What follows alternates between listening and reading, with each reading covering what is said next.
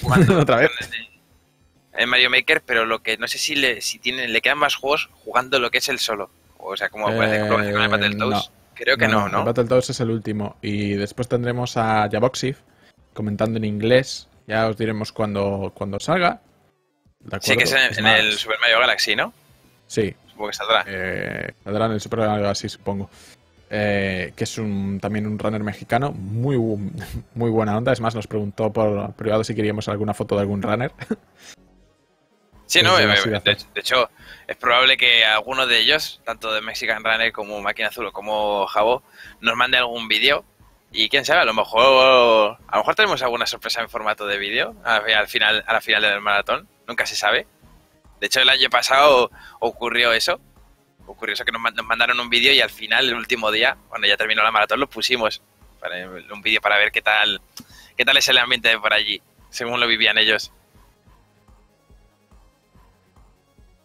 A ver, mira, nos dice Neotru. Yo, yo me compré el Bastion en PSN, tengo PS3 y me di cuenta de que era para PS Vita. RIP. Por suerte estaba como a 3 dólares. A ver, hay que tener cuidado con ese tipo de eh, compras, pero para Play 3 también existe el Bastion. Yo lo juego en PC porque mayoritariamente juego en PC y desde que no tengo y desde, que mi Play 3 pasó a mejor vida, pues bueno, nada más. Pasó a mejor vida. Sí, pero también estaba eso. Sí, para PS Vita y para. Está para varias plataformas también. Creo que para Play 4 también está. A ver, mira. Está para Play 4. Para Xbox 360, eh, ¿vale? También está para iOS. ¿Vale? Para OS, para eh, Linux también estaba porteado. Eh, Play 3, eh, bueno, eso ya lo dije. Play 4 también, PC, móviles, móviles también, o sea, todo. Solo falta para Wii, para Wii Wii U. Creo que para Wii, no, para Wii creo que no lo han sacado. No, para, ni, para, ni para Wii ni para Wii U le faltaba, le falta. le falta. solo le faltan las cosas de Nintendo. Sí, pero ya sabemos cómo es Nintendo, muy, muy, muy suyo. Me dice, dice Eam Sánchez Pablo, dice, pasarse un juego con los ojos cerrados tiene que sentirse como el amo. Y la verdad es que sí, o sea, es que eh, pasarse un, juego con los ojos cerrados es impresionante. Y de hecho, este, este mismo maratón lo vamos a llegar a ver una parte, sí, también. Cualquier, cualquier cosa que se haga con los ojos cerrados tiene muchísimo mérito. Pero eso, esta, y precisamente esta misma maratón, creo que es, a ver que lo, lo, voy a comprobar, pero creo que es el viernes, no, el jueves. O sea, mañana van a jugar el Punch Out, que lo va, lo va, lo va a jugar Sinister, que es un runner muy bueno, que además lo, lo suele jugar todos los años, este, este, ese juego, el Punch Out, y lo, lo juega a ciegas y lo vais a ver de verdad como es una locura. Este año hay muchos, muchos incentivos para hacer las cosas vendadas. Están, está el Punch Out, está el Battletoads y también está el Pokémon. Pokémon hacía también, pues fíjate. Sí, también, también. Si no recuerdo mal, había un Biz. Déjame ver, o sea, ahora tengo curiosidad, pero me suena de que sí. Bueno, de hecho, me parece que Pokémon ya se hizo en el Summer Games Done Quick, creo. Porque me suena a mí. Sí.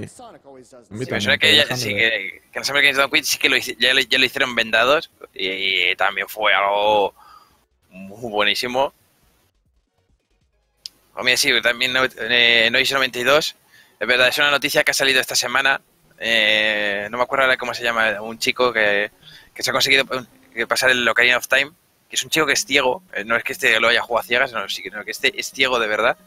Y se ha pasado el Ocarina of Time de principio a fin, que ha tardado cinco años. Es una de las noticias que ha salido esta semana y desde luego eso sí que es determinación, es motivación y tiene que motivar, ¿sabes? A la gente que es ciega tiene que resultar una motivación eso, es decir, aunque no veas, mm, eso no te impide, ¿sabes? El poder vivir tu, vida y el poder hacer cosas. Y la verdad, para, mí, esa gente mm, se merece la, mayor de las ovaciones porque es impresionante, de verdad. Sí, la verdad es que es la fuerza de la dedicación, básicamente. Pero bueno, tenemos... Ya empieza Strider. Ya vimos Strider 2, que era la secuela de este juego, que en este caso es mucho más larga, ¿de acuerdo? Además, mucho.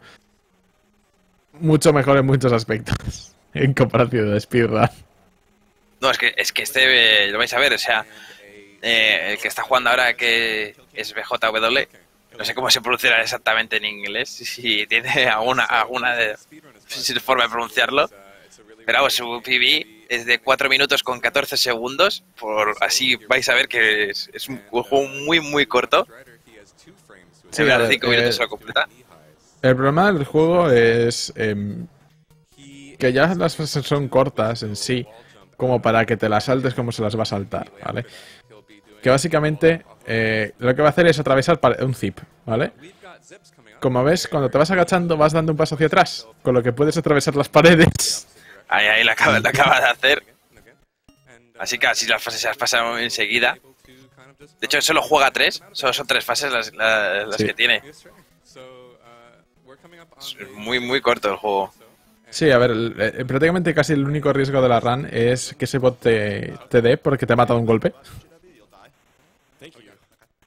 Mira que se acaba de llegar ya al, al primer boss de, de la fase.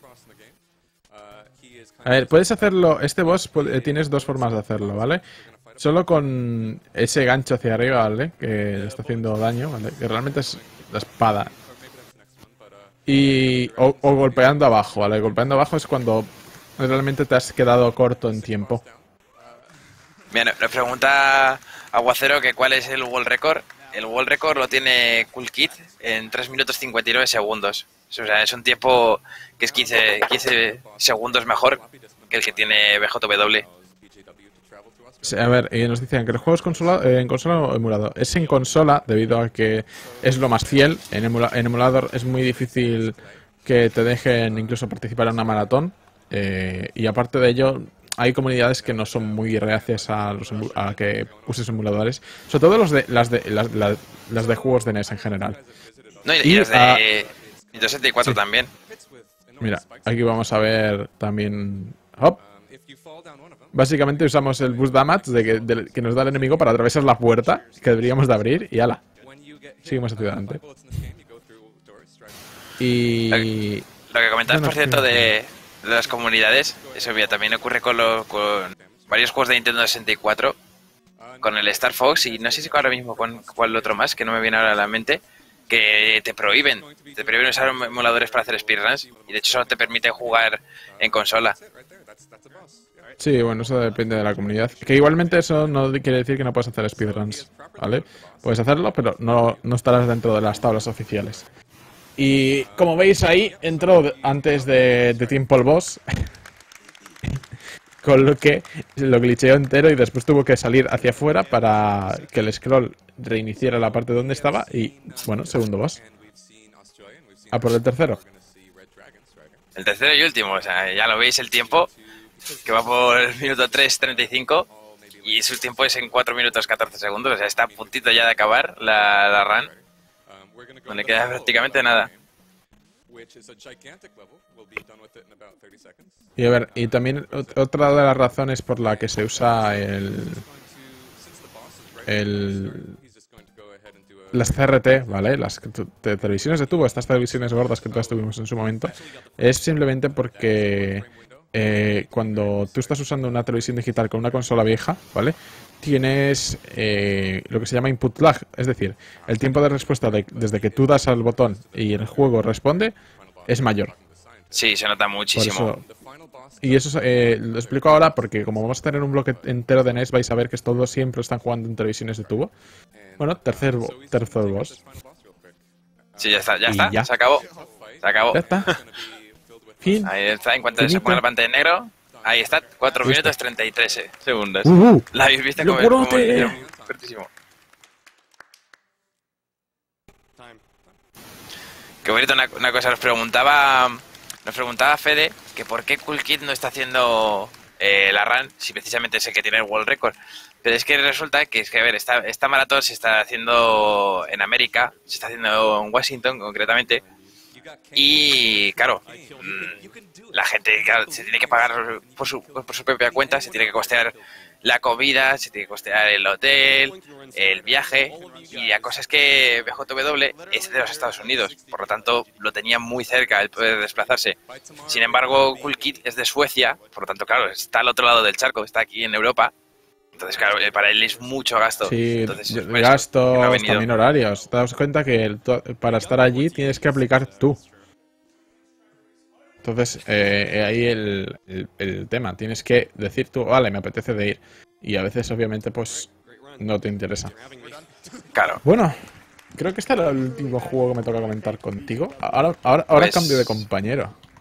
Sí, no sé si nos tocará, nos coinc- coincidiremos en algún juego más en el resto de la maratón. Creo que no. Mm, Creo que no. Vamos, nos quedan bastantes juegos a ti y a mí todavía por comentar, pero juntos creo que no.